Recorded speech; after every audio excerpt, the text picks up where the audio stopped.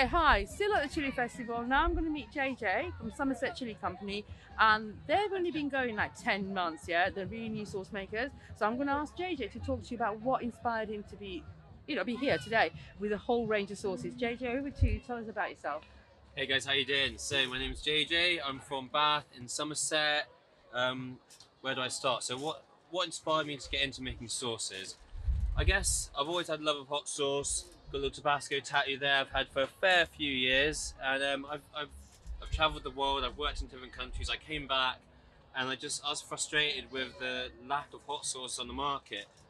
Lockdown had just happened. I really wanted the pineapple sauce. I didn't have time to order online, so I just made one. This is actually this was the inspiration. The first order, the first sauce I made, La Playa, which is Spanish for the beach, pineapple, kiwi, passion fruit, and fatalii chili, and this is yeah this is this is really why I started it and, and the, It's nice.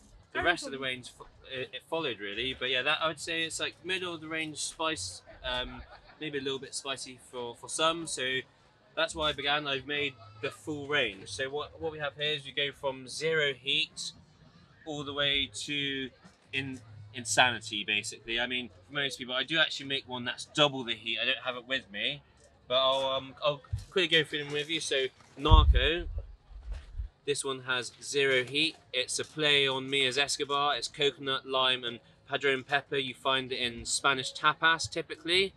Um, so not officially a chili, but we'll let you get away with it if you say that's your favourite.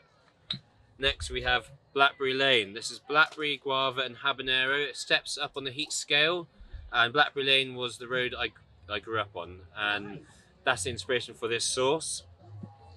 I'd say as well, um, this goes really well as a salad dressing, as a compote on fish. Um, it's, it's quite like an all-rounder sauce. You can even use it in in a cocktail if you want some gin in that, and, and make it with um, a mojito as well. Blackberry and guava mojito would not go amiss.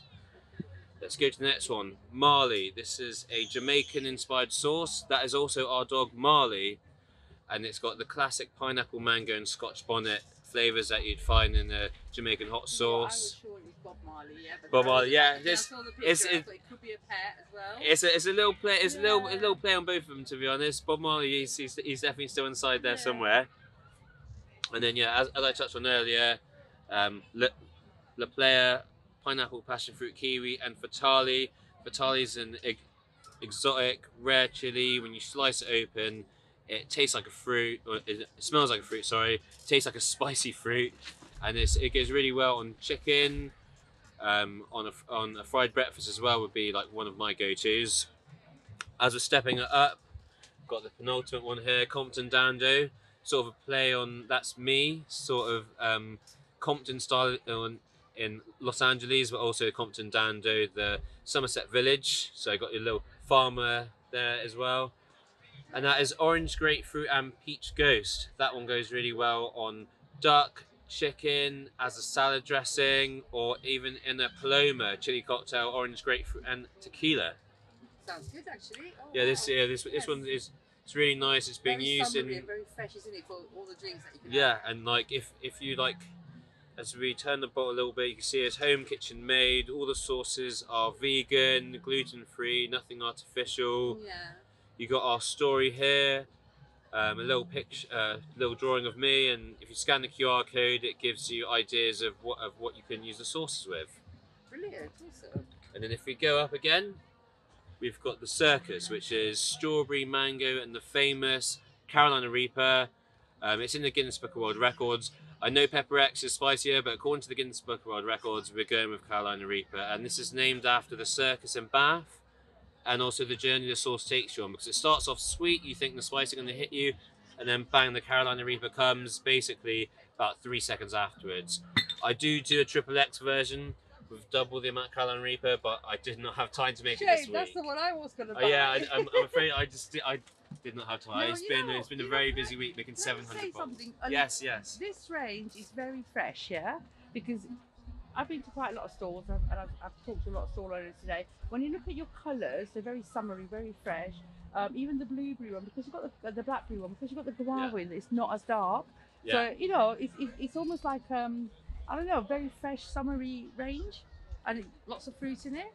Yeah, I'm I'm like re- really proud to showcase this range. I felt it was really like important just to have like. I find like not all hot sauces show like the variation of heat. I Yeah. feel like sometimes like chili sauce has a bad name for just being pain. I have I even when I spoke to someone in Sainsbury's who was serving me Mm. and like speaking to about he says he's never even heard of hot sauce. He goes, Oh I think it is it's, it's different It's- because you would find when you come to festivals like this, you have a better understanding of what sauces because there's sauce makers like yourselves that you're here and then you'll be selling online, etc. And unless you get a deal with Asda or Tesco's or whoever to stock your sauces, you may not go that route because you know Yeah. it's, you're doing it differently, yeah. And Exactly. before anyone comes to Chili Festival, they don't appreciate how much there is, and there's so much. And all of these, every single one of these sauces, and guys, you know how much I like my salt, fruity sauces in ice cream, yeah? You can shove them on ice cream, I think pancakes, all of those sweeties because these are fresh. And obviously glazes on your barbecue, meat and everything because you're gonna have that fruity t- taste go into it. But you know, drizzle it on things. Waffles, yeah? Ice cream, waffles, pancake, a bit of fruit, and that it'd be, it'd be perfect. So um, sounds I amazing. think that yeah, so try it with because there's a lot of these fruity ones.